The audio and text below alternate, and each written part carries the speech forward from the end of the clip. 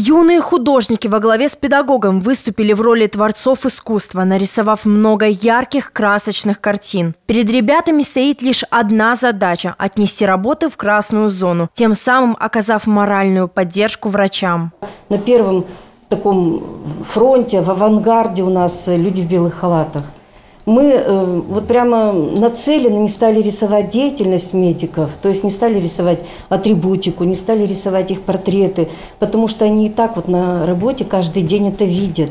Им тяжело это вот все воспринимать, им хочется отдохнуть, немножко такой релакс.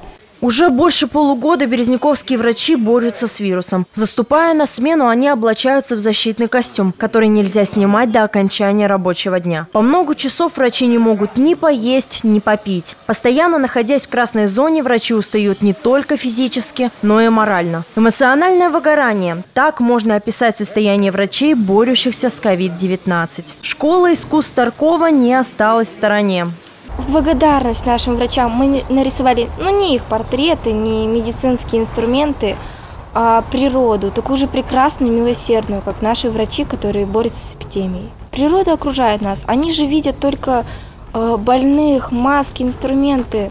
Наверняка же надоедает. Мне нравится рисовать и хочу поддержать э, врачей, чтобы им было как, как бы получше работать и чтобы у них было настроение работать. Я хочу, чтобы они были здоровы и они не заболели этим коронавирусом и чтобы они вылечили людей, чтобы все было хорошо у них. Я думаю, то, что они вправду их приободрят о том, что они э, будут видеть картины, может быть, они будут успокаиваться, глядя на эти картины, они будут чувствовать поддержку. Они сейчас очень много работают, они сейчас спасают много э, жизней людям, э, вот, и свои, наверное. У врачей поднимется гормон счастья, они будут больше работать, вот, и не уставать. Конечно же, у них поднимется настроение, они будут знать, что в них верят люди, что их старания не бесполезны.